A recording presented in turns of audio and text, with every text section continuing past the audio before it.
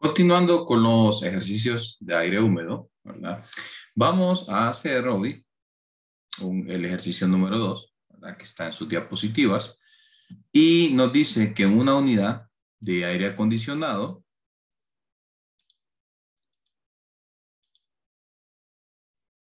de ventana entra aire a una atmósfera, que serían 101.325 kilopascales, a 30 Celsius y 80% de humedad relativa. A una tasa, ¿verdad? De 10 metros cúbicos por minuto. Nos estarían dando el flujo volumétrico que ingresa al sistema de acondicionamiento. Y nos dice que sale el aire saturado. Cuando nos dicen saturado, están haciendo referencia a eh, a la humedad relativa que sería del 100%. Sale con una humedad relativa del 100%, o sea, saturado, ¿verdad? A 14 Celsius. Y nos dicen que parte de la humedad en el aire eh, que se condensa, bueno, perdón, parte de la humedad en el aire se condensa durante el proceso y se elimina también a 14 Celsius. O sea que cierta humedad del aire es eliminada, ¿verdad? Que sería la humedad específica, se ve reducida. Y nos piden que determinemos las tasas de eliminación de aire y de, eh, perdón, las tasas de eliminación de calor y de humedad del aire. O sea, qué tanta humedad nosotros estamos retirando. Mejor dicho, qué tasa de agua estamos retirando del aire húmedo. Bien, entonces si observamos en una carta psicométrica o el esquema de la carta psicométrica, la entrada de aire se da a 30 Celsius, que sería nuestra temperatura de bulbo seco, con una humedad relativa del 80%. A esto le atribuimos, vamos a tener cierta humedad específica, vamos a tener eh, cierta entalpía específica, también vamos a tener cierta temperatura de bulbo húmedo y además de eso también la temperatura de punto rocío. Nos dicen que luego del estado 1 se satura completamente, entonces sería, recuerden que eh, comenzamos por un enfriamiento sensible, ¿verdad? Hasta que se satura por completo. Sin embargo, esta temperatura en este punto sería nuestra temperatura de punto de rocío, pero nos dice el enunciado que tenemos una condensación de aire. Entonces, vamos a, se sigue enfriando, pero a una humedad eh, relativa del 100% hasta que alcanzamos los 14 Celsius. Esta temperatura de 14 Celsius debería ser menor que la temperatura del punto de rocío del estado 1. Entonces, al final, a la salida tenemos eh, una temperatura de 14 Celsius, una humedad relativa eh, del 100%. Entonces, a partir de esos datos, vamos a determinar la cantidad eh, de eliminación de calor, la cantidad de, calor que retiramos, Si nos dicen tasa, entonces deberíamos determinarla en kilovatios, al igual que la cantidad o la tasa de humedad de aire que retiramos. Bien, entonces a la entrada conocemos la humedad relativa, que sería el 80%, con una temperatura de 30 Celsius y un flujo volumétrico de 10 metros cúbicos por minuto. A la salida tenemos una humedad relativa, ya que sale saturado del 100%, la temperatura sería 14 y además eh, la, el condensado que removemos del aire, o sea, la humedad, que removemos, o el agua que removemos, mejor dicho, sale a 14 Celsius. Puede ser, por lo general, estas temperaturas deberían ser iguales a menos que el ejercicio nos indique lo contrario, que sale un poco con una temperatura un poco más elevada, el condensado, eh, el agua de condensamiento, ¿verdad? Pero por lo general salen a la misma temperatura.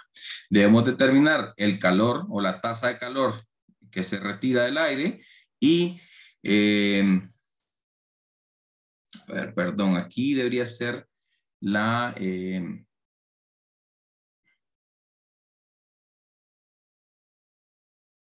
ya, aquí debería ser la cantidad de, o sea, el flujo másico, ¿verdad? de agua que retiramos. Esto lo vamos a modificar.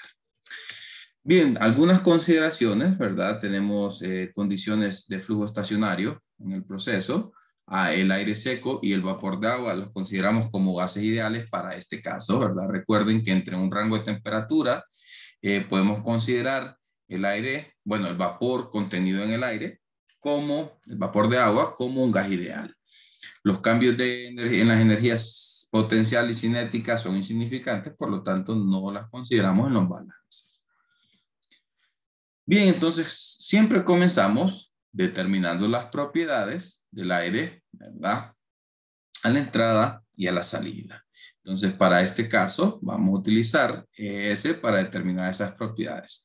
Entonces, a la entrada tenemos una humedad relativa del 80% y de 30 Celsius. Esos serían los datos con los cuales vamos a ingresar a, eh, al programa o bien a la carta psicrométrica, como ustedes deseen. En el caso del estado 2 tenemos una humedad relativa del 100%.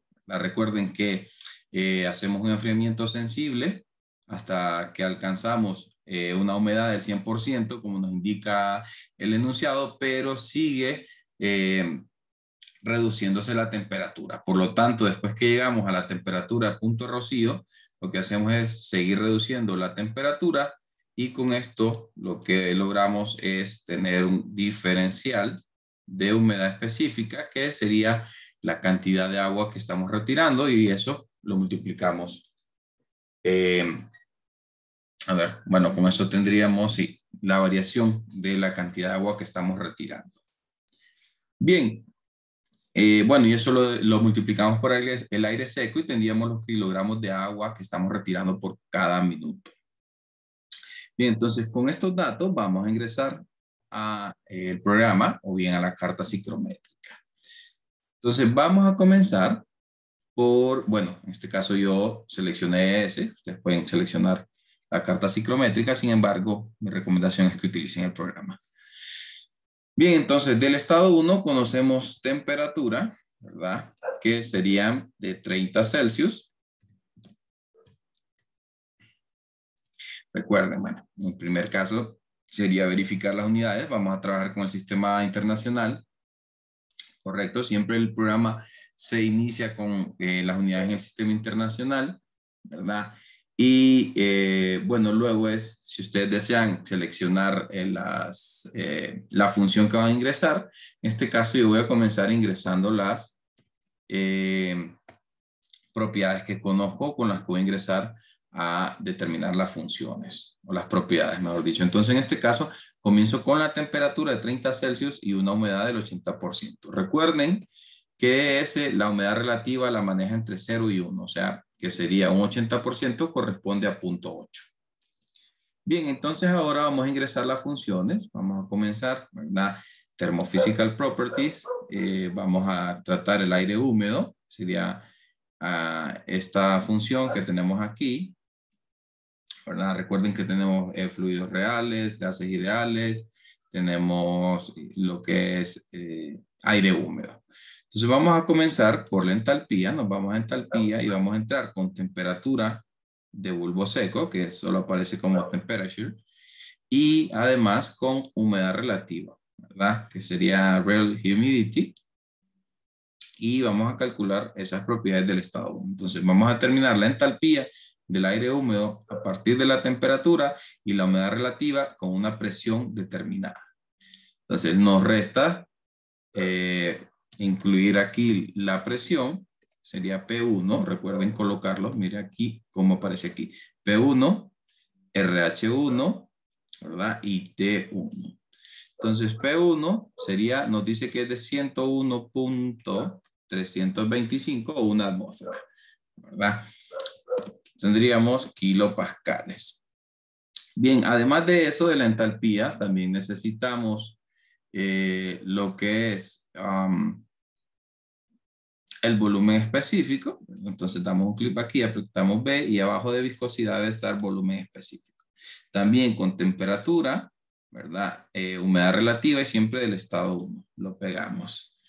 Vamos a determinar también lo que es omega, que es la humedad específica. La verifiquemos temperatura, temperatura, humedad relativa, todo bien, los datos que estamos ingresando. Podemos chequear las funciones y nos dice tenemos cinco ecuaciones, cinco variables, todo está bien. Seguimos y vamos a determinar omega. Vamos a ver omega. Aquí está, que debería aparecer como humedad ratio, humidity ratio, me han dicho. Entonces, temperatura, ¿verdad? Vamos a ingresar con temperatura, además también con humedad relativa, aquí tenemos RH, siempre el estado 1, y adicionalmente voy a determinar lo que es la temperatura de punto de rocío para que veamos que la temperatura de nuestro estado de salida debe estar por debajo de la temperatura de punto de rocío, ¿verdad? Porque eh, del estado, en el estado 1, retiramos, bueno, enfriamos sensiblemente, pero hasta el punto que alcanzamos una humedad relativa del 100% y desde ese punto comenzamos a bajar la temperatura. Entonces, adicionalmente, vamos a determinar eh, la temperatura de punto rocío que debe aparecer como dew point. lo observamos aquí abajo de la densidad. Siempre con temperatura y humedad relativa. ¿va?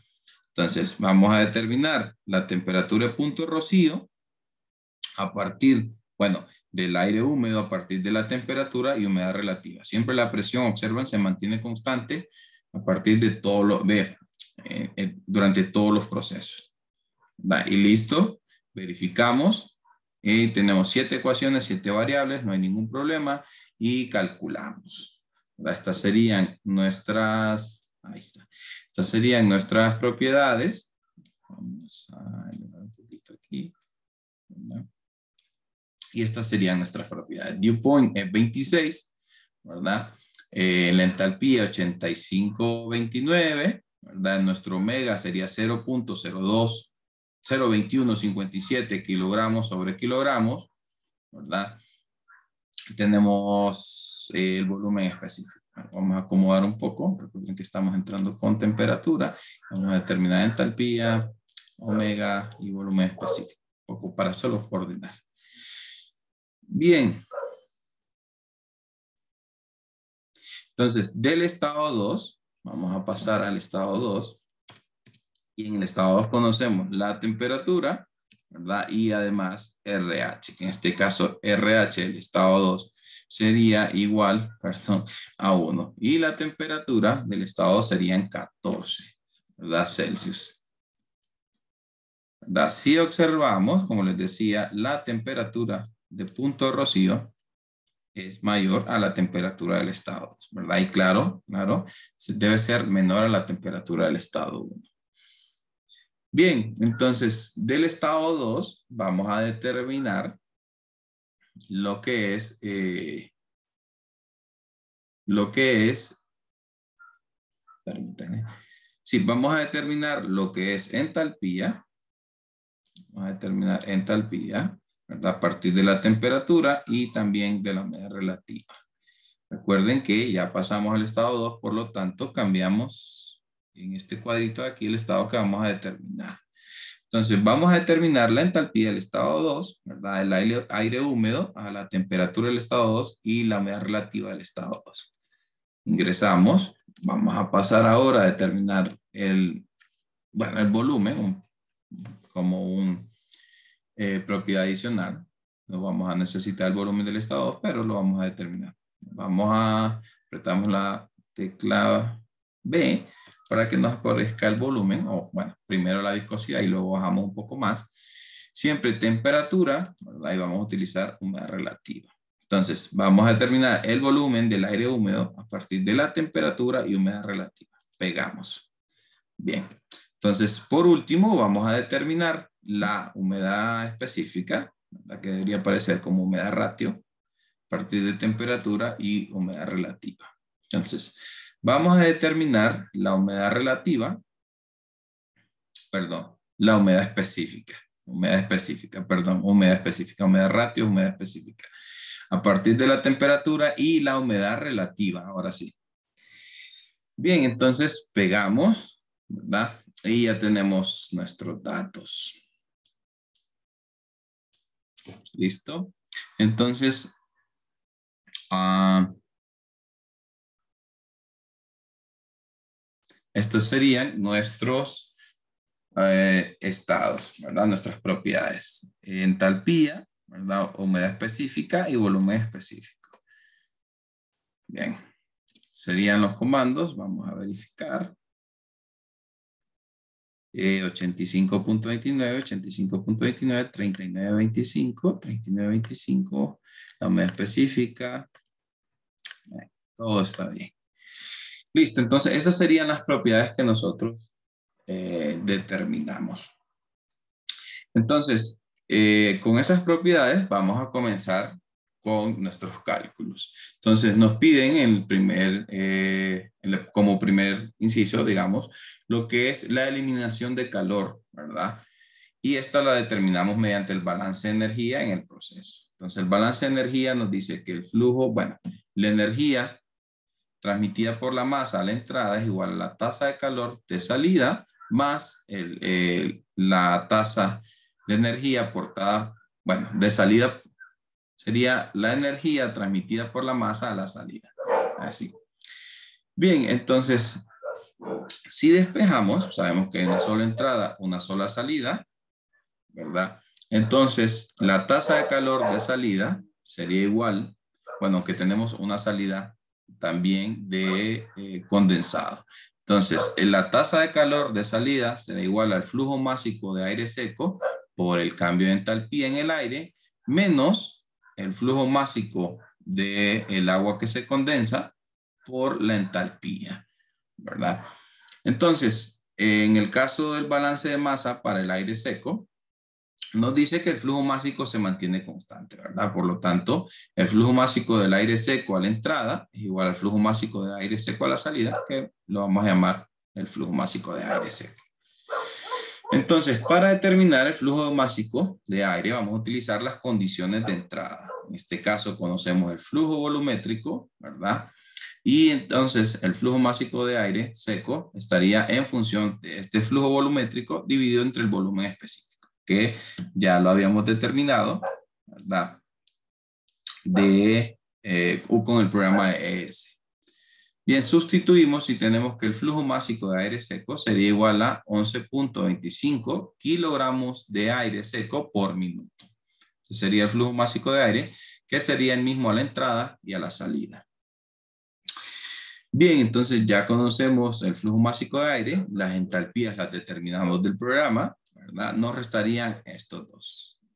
Que para el caso del agua, bueno, hacemos un balance de masa para el agua, ¿verdad? Donde tenemos que el flujo másico de aire por el omega 1 es igual al flujo másico de aire 2 por el omega 2, recuerden que esta es la humedad específica, ¿verdad? Más el flujo másico del condensado, del agua que retiramos. Eh, despejamos para el flujo másico de agua y recordemos que el flujo másico de aire 1 y aire 2 son iguales, por lo tanto, la ecuación para el flujo másico de condensado, nos queda que es igual al flujo másico de aire por el cambio de humedad específica. Conocemos el flujo másico de aire y las humedades específicas, ¿verdad? Sustituimos y tenemos que el flujo másico de condensado que retiramos del aire es igual a 0.13 kilogramos de agua por cada minuto. O sea que esto sería el flujo másico que obtenemos de agua al final. Bien, entonces ya conocemos ese flujo másico, podemos determinar el calor que retiramos del, eh, de la corriente de aire. Entonces, eh, la entalpía del agua, esta HW la vamos a determinar a partir de los 14 Celsius a, la cual, a los cuales se encuentra el agua que se condensa, como les dije, pues, eh, por lo general se encuentra a la misma temperatura de la salida, pero el enunciado puede decir que sale un poco, perdón, más elevado de temperatura. Entonces, eh, vamos a entrar en este caso a las tablas de agua saturada, ¿verdad? Recordemos que eh, en este caso consideramos que se encuentra como líquido comprimido a la temperatura de, a la temperatura a la, cual, se encuentra el agua. Entonces vamos a entrar a las tablas de agua saturada y vamos a determinar HF, ¿verdad? A la temperatura de nuestro estado, que serían 14. Por lo tanto, la, la entalpía sería igual a 58.73 kilojoules sobre kilogramos. Bien, una vez determinadas las propiedades y los flujos másicos, podemos determinar la tasa de calor que se retira del aire, del aire húmedo. Entonces ya habíamos, este sería la ecuación para, para la tasa de calor. Entonces solamente sustituimos y tenemos como resultado que el calor que se retira del aire húmedo es igual a 510 kilojoules por cada minuto que transcurre.